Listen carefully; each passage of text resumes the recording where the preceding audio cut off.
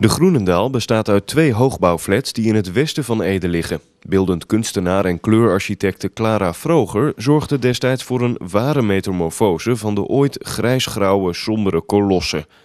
De twee gebouwen, die aangepast zijn aan de woonwensen van de moderne 55-plusser, liggen op loopafstand van winkelcentrum Bellestein, waar ook een gezondheidscentrum en een apotheek zijn gevestigd. De woningen hebben een woonkamer van 25,5 vierkante meter, een aparte keuken van 7,5 vierkante meter en er zijn drie slaapkamers, twee van 9 vierkante meter en één van 12,5 vierkante meter. De badkamer met toilet is 3 vierkante meter groot en daarnaast is er ook nog een apart toilet. Buiten de woning is een schuur waar u bijvoorbeeld uw fietsen in kwijt kunt. Deze is 7,5 vierkante meter groot.